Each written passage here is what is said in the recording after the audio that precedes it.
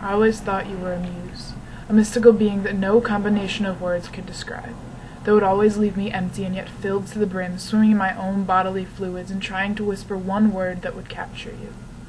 But the firefly in my jar always died, leaving me unchanged. And I don't want to do that to you.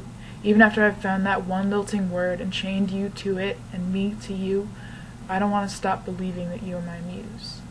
I don't want to stop believing in you. Because you've got this bright smile and an even brighter laugh, and bright isn't really the right word. No, it's more sharp without the pain that comes with that, and it's contagious.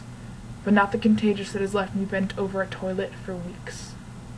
It's strong and bold, but it doesn't leave bruises like fists. No, it's not like that at all. I swear you're a mystical being that no combination of words can describe, that will always leave me empty and yet filled to the brim, swimming in my own bodily fluids and trying to shout one word that will capture you. But despite all the holes that I poked in the lid to that jar, my firefly always died. I refuse to do that to you, because you are my muse.